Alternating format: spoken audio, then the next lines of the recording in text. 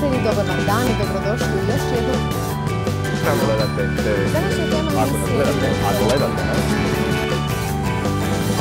Gledate TV student.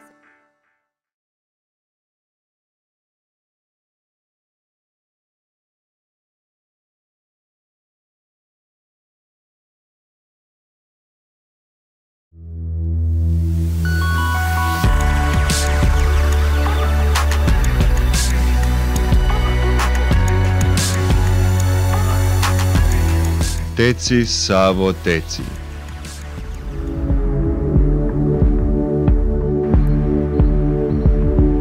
Koje priče nam želiš reći?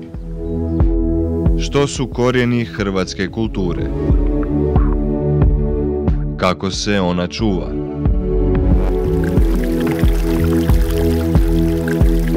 Kako se mijenja?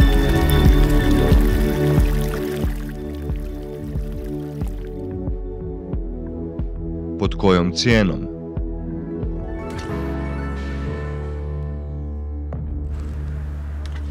To su pitanja na koja ćemo pokušati pronaći odgovore u ovom izdanju emisije Cro ID. Putovanje se nastavlja.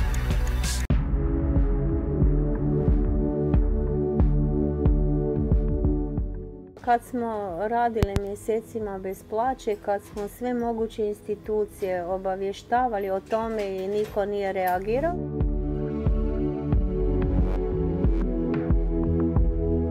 postoji integracija i želja za integracijom sa strane islamske zajednice i muslimana kao stanovnika i građana, punopravnih građana ove zemlje, a isto tako sa strane bilo koje vlasti, nebitno o tome, da prihvati te muslimane ne kao nekakvu getoiziranu skupinu, nego kao punopravne građane isto tako.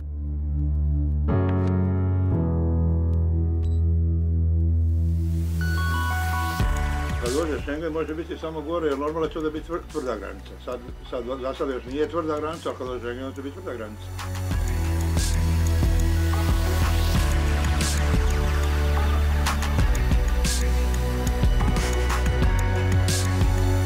I love living in Croatia.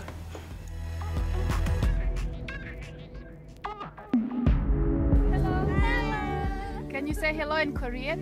Uh, How do you like it in Zagreb?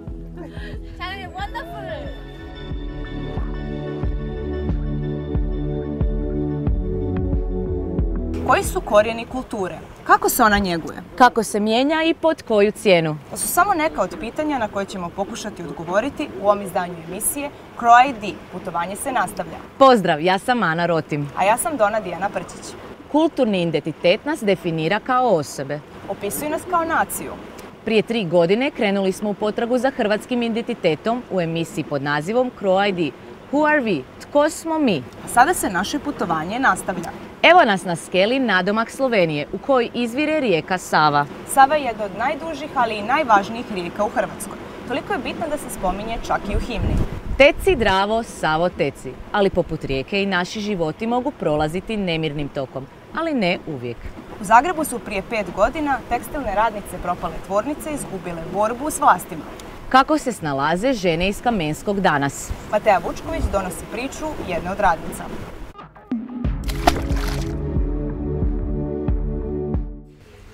Žene. Tekstilna industrija. Kreativnost. Inspiracija. Skromnost. To su riječi koje povezuju udrugu Kamensko. Na Zagrebačkoj knežiji radnice svakodnevno stvaraju čuda od različitih materijala i tako zarađuju za život. Jedna od njih je Đurđa Grozaj. Ona je skrojila budućnost udruge. Nije joj bilo nimalo lako. najteže je bilo u 21. stoljeću da sam se bojala svog kaslića, dolazili nam ovršitelji i sve što smo cijeli život e, stvarale, to smo izgubile ovrhama. Nisi imao novaca da platiš režije. Đurđa je u bivšoj tvornici Kamensko radila 30 godina. Nakon što su sedam mjeseci bile bez plaće, ona i njene kolegice odlučile su uzeti stvar u svoje ruke. Ništa nije poduzela i po meni kompletno institucije i, i svi koji dođu, jedni se smijene, drugi dođu, svi oni razmišljaju isto, a to je daleko od demokracije. Očajne radnice Kamenskog krenule su u štrajk glađu koji je trajao tjedan dana. Za vrijeme štrajka dva puta su doktori oživljavali Đurđu. Najteži trenutak osobno mi je kad smo krenuli onaj štrajk glađu u onom parku i poslije kad smo ovoga već završile na cesti. Ova zgrada bivša je tvornica Kamensko. Prije pet godina bez posla je ovdje ostalo više od 400 radnica, među kojima je i Đurđa Grozaj. Istraživački novinar Ilko Čimić razotkrio je malverzacije vezane u slučaj. Kamensko koja je vezana uz ova četiri glavna ovaj, krivca, danas čeka smanjenje cijene kako bi pod još povoljnim uvjetima kupili nekretninu koja je danas očišćena i od dugova i od radnika. Čimić kaže kako je namjerno uništavanje tvrtke počelo još prije deset godina kad se određena skupina ljudi iz gospodarstva, politike i medija željela domoći ove atraktivne nekretnine. Problem je našeg društva što, što su napravili zakone koji sve to omogućava da lopine koji su nas pokrali da uživaju u tim novcima koje su nama pokrali. Od ulaska Hrvatske u Europsku uniju, jedan od glavnih ciljeva vlade je borba protiv korupcije – Međutim, one osjećaju da se ništa značajno nije promijenilo. Đurđa i njezine kolegice pronašle su svoje mjesto pod suncem i ne namjeravaju ga napustiti.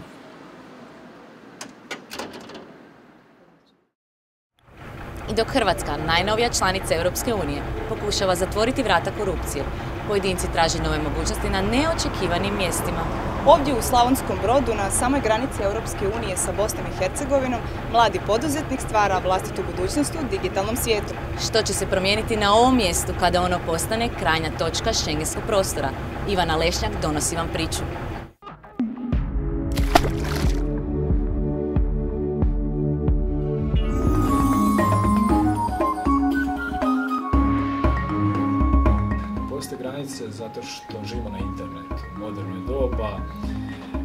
Stvarno više nije bitno, jeste. Ovaj, sve, bar u kontekstu našeg posla, naša distribucija naših proizvoda će ići putem interneta. Brođanin Ivan Mandić imao je samo 12 godina kada je dizajnirao prvu video igru. U početku radio je samostalno. Sada u rodnoj kući zajedno s pet prijatelja pokreće posao moglo biti ko neki pet, nemam pojma Rijeka Sava bila je dio inspiracije pri izradi prve video igre namijenjene prodaji, Nucleotide.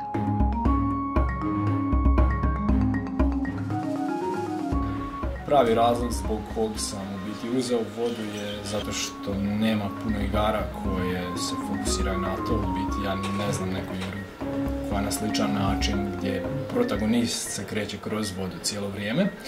U neposrednoj blizini ovog mirnog mjesta pokraj Slavonskog broda nalazi se najprometniji granični prijelaz prema Bosni i Hercegovini. To je naš brod, ja sam inače iz Bosanskog broda. Oženio se Slavonku iz Slavonskog broda. Radi u drvnoj industriji, jedan, to uvijek bio jedan grad. Tri puta tjedno HRT-ov dopisnik Silvije Stelinović prelazi granicu između Hrvatske i Bosne i Hercegovine. Kako bi prenio priče ljudi koji žive na obje obale Save.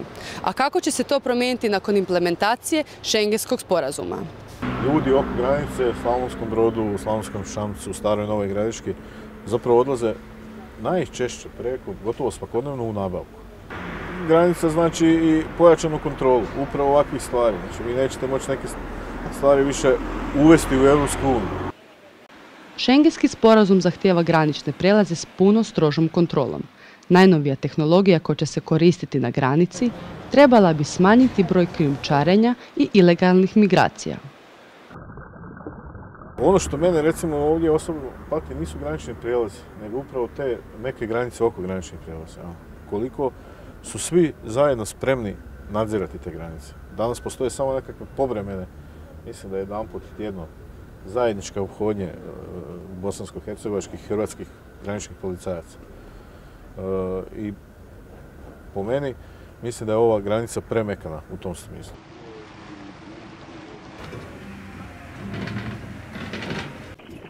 Način e, života gdje se živjelo uz Savi i na Savi, preko mlinica, preko ribarenja i tako dalje.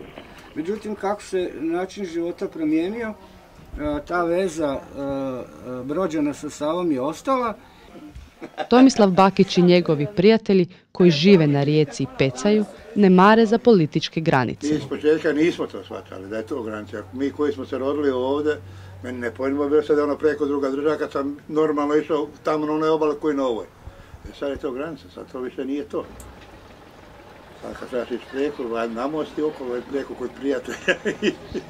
kad dođe Schengen može biti samo gore, jer normalno će da biti tvrda granica. Sad, sad, za sad još nije tvrda granica, a kad dođe Schengen će biti tvrda granica.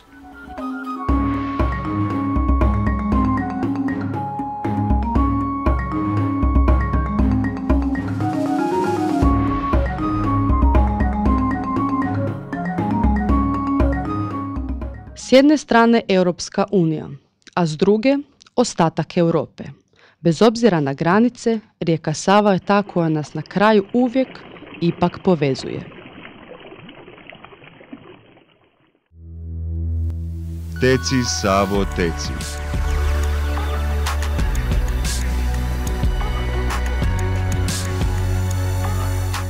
Što nam želiš ispričati o našoj prošlosti?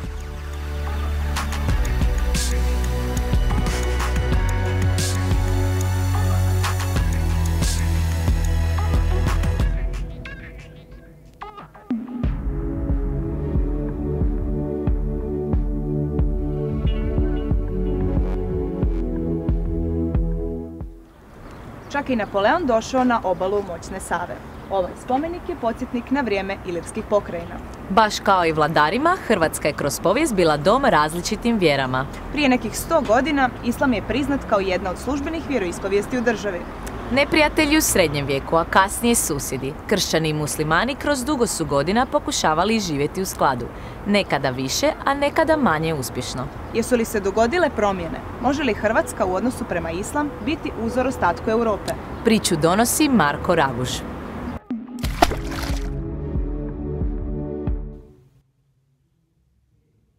Molitva u tišini. Trenuci u kojima se Hanan prepušta duhovnosti. On želi donijeti svjetlost i znanje o islamu svojoj okolini. Ljudi ne žele znati, ne žele naučiti i ne žele poznati onda tu imamo taj nekakav rascijep između različitih skupina ljudi.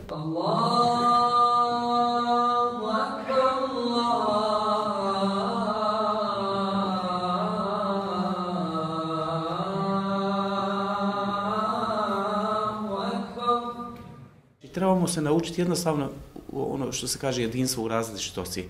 Jeste iskonsko, e, ista vjera nas e, povezuje, znači abrahamovske religije, monoteističke, objavljene, kako Kur'an kaže, i kršćanstvo, judaizam, islam.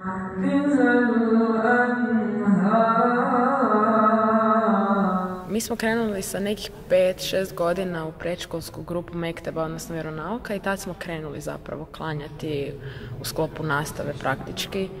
Dolazili smo ovdje tu u džamiju i onda smo, sjećam se, bili doslovno samo imitiraš o starije i na taj način učiš. Kasnije smo učili naravno i molitve koje se trebaju učiti, odnosno recitirati dok klanjaš, ali tako je to krenulo nekako od rane dobi.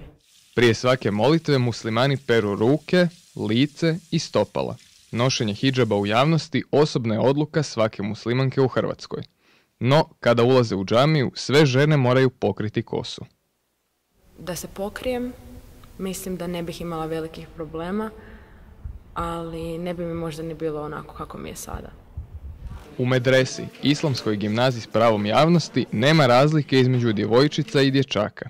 Tako se oni uče toleranciji. Hrvatska, možemo reći, ima najbolje uređene odnose vjerske zajednice i ovaj, države i u tom kontekstu možemo biti ovaj, stvarno primjer u Europi jer su drugi ovaj, način rješavanja tih odnosa ovaj, gori, loši ovaj, nego u Hrvatskoj. Sa 4 milijuna 300 tisuća stanovnika Hrvatska je dom i za 64 tisuće muslimana.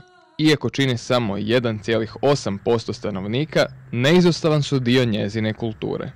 Osjećamo, doživljavamo Hrvatsku kao svoju domovinu, kao, ne kao drugu, nego oni koji su rođeni ovdje, recimo, kao što su moja djeca rođena tu, oni osjećaju Hrvatsku kao svojom prvom domovinom.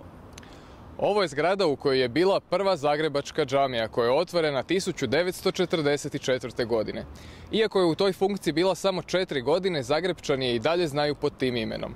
Nakon što je Hrvatska dobila svoju treću džamiju 2013. godine, u planu je izgradnja nove, četvrte, u Osijeku. Hananina majka jedna je od autorica projekta.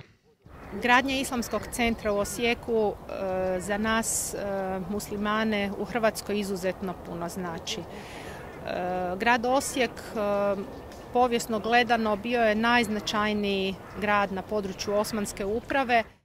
Vjerojatno je to jedan od razloga što u hrvatskom društvu ne postoji strah od islama kakav je prisutan u ostatku Europe.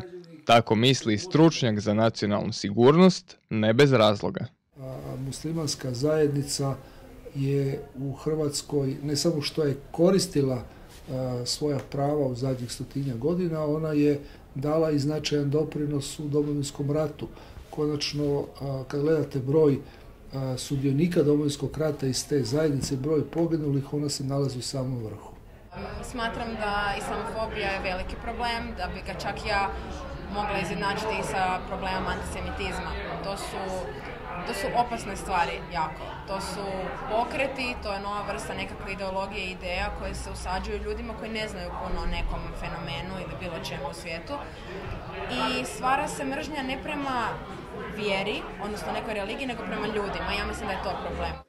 Izvan islamske zajednice Hanan vodi bogat, aktivan život. Studentica je politologije i demonstratorica u fakultetskoj knjižnici.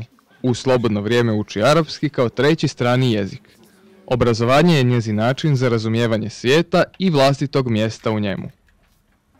Mislim da definitivno mogu svojim primjerom i načinom života pridonijeti i ne samo da ću se ja bolje osjećati, nego će i situacija i percepcija u muslimanima koja je danas toliko narušena, možda ću evo ja popraviti tu percepciju da ispadne bolje.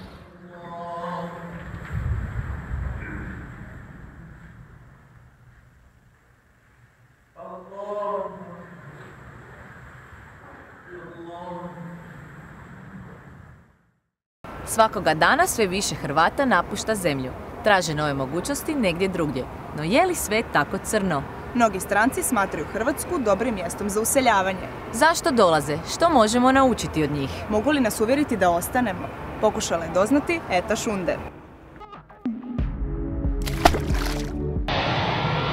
U Zagrebačkoj zračnoj luci svakoga dana deseci aviona poljeću i slijeću. Tako su kao turisti prvi put u Zagreb stigli junaci naše priče te postali naši sugrađani. Well, it started uh, in 2008. I was traveling a lot in that period and I met three boys from Zagreb. Netom, poslije prvog njegovog turističkog posjeta, zajedno su došli na ideju otvorenja hostela u Zagrebu.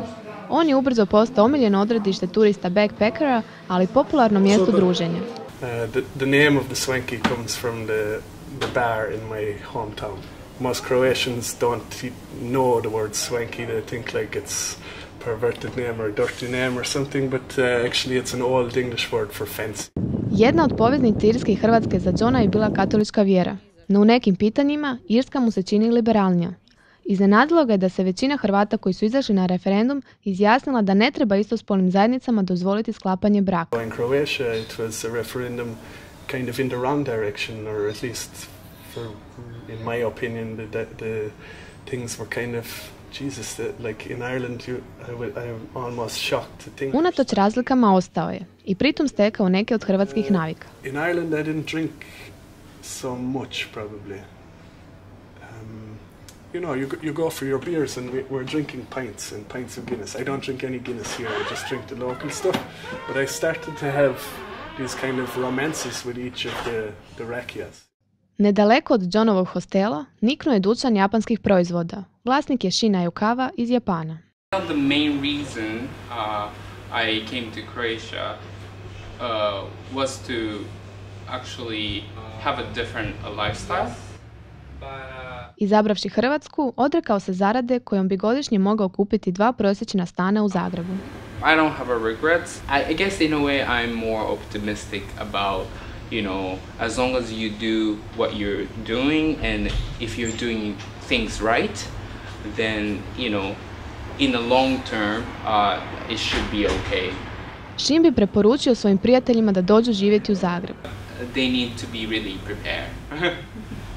For what?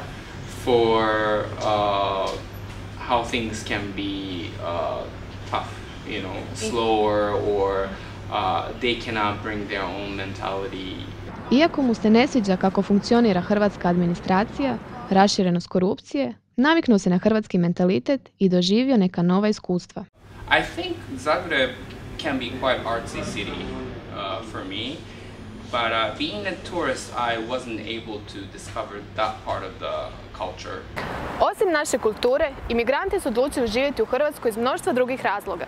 Prije dvije godine 10.000 stranaca je doseljalo, a 15.000 Hrvata napustilo našu zemlju. Doktorica Hornstein Tomić iz Njemačke sada živi u Zagrebu te istražuje područje migracije. In public debates we often hear the term brain drain. However, it is um, much more often not only a brain but rather a circulation. Njezin suprug radi u Bosni i Hercegovini. Zagreb im je negdje na sredini puta prema Njemačkoj, pa je to razlog što ga je odabrao. I think Zagreb is a um, is a city which has a, a history, a tradition. It has a civic life. You see li- people really living in the city. Za razliku od Johna, koji osjeća da mu irsko porijeklo otvara sva vrata, za Karolinu je uklapanje u sredinu bilo teže. Or the Croatian society for a foreigner can appear rather closed. It takes a long time to get access to social circles. John, Shin i Karolina vole život u Hrvatskoj i za sad ne pomišljaju na odlazak. Ipak ne znaju što im budućnost donosi. That people who have started to move between different countries or to uh, live in different places bring up the possibility of again moving. I would make uh, you know trips to Japan more often maybe, but uh, still here would be my second home. Would I swap? No, not a chance.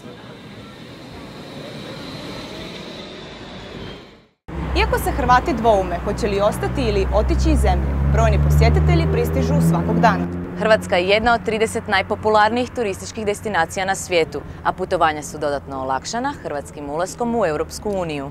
Ovdje u Slavonskom brodu posjetitelji dolaze vidjeti Franjevački samostan, a drugi odlaze posjetiti Zidinu u Dubrovniku, arenu u Puli i Dioklecijanovu palaču u Splitu.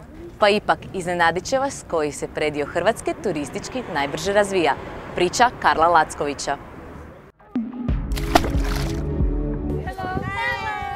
Can you say hello in Korean? Hello. Broj korejskih turista porastao je za 317%, ali vjerovali ili ne, nisu došli posjetiti tradicionalne turističke destinacije na hrvatskoj obali. Oni žele vidjeti i osluhnuti Zagreb. No, ne dolaze samo Korejanci. Upoznajte Jessie, Australku koja živi u Londonu. Poveli smo ju šetnju Zagrebom kako bismo doživjeli grad kroz njezine oči.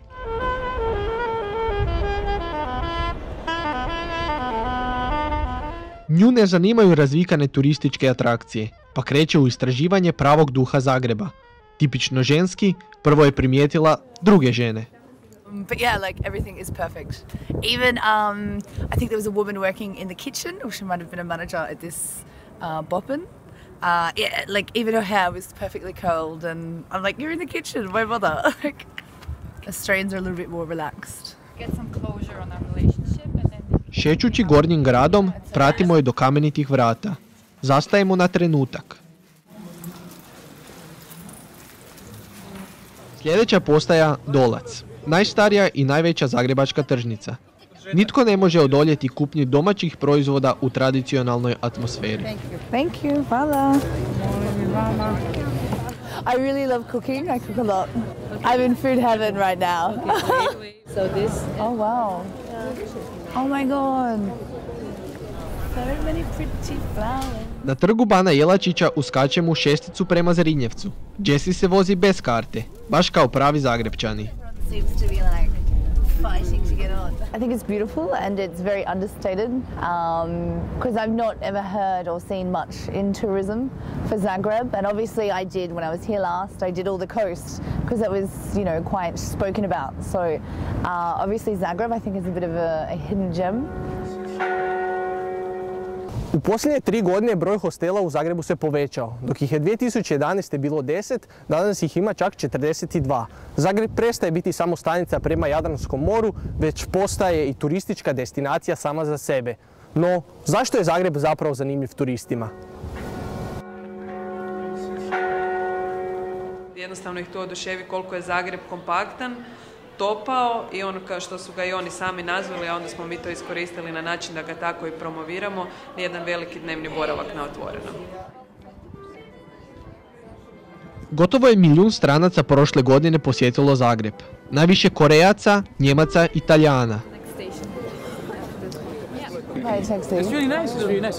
Kažu, ovdje je lako upoznati ljude. Dovoljan je samo jedan osmijeh. Očito, jer Jess je na Gornjem gradu u tren oka dobila društvo. Dvojicu Francuza. Ovdje naše putovanje prestaje. Razmišljamo gdje smo sve bili i što smo sve naučili. Naš identitet se neprestano mijenja, baš poput rijeke Save, no na posljedku ostaje isti. Rijeka Sava dalje teče prema Beogradu, gdje se spaja s Dunavom i odlazi dalje prema Crnome moru. Jesmo li mi i dalje Hrvati? Ili možda novi europljani? Ili možda dio svjetskog čovječanstva? Nadamo se da su vas priče koje smo s vama podijelili inspirirale da otkrijete vlastiti identitet i da se oduprijete svakodnevne plimi pitanja bez odgovora. Došli smo do kraja još jednog Crow ID-a. Razgovor nastavljamo na Facebook stranici i Twitteru. Ili podijelite vlastite fotografije hrvatskog identiteta na Instagramu i Pinterestu. Ja sam Dona Dijana Prčić. A ja sam Ana Rotim. Putovanje se nastavlja.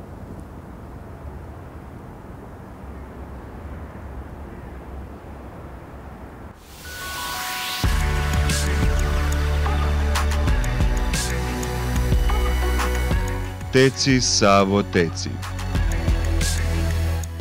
Koje priče još skrivaš?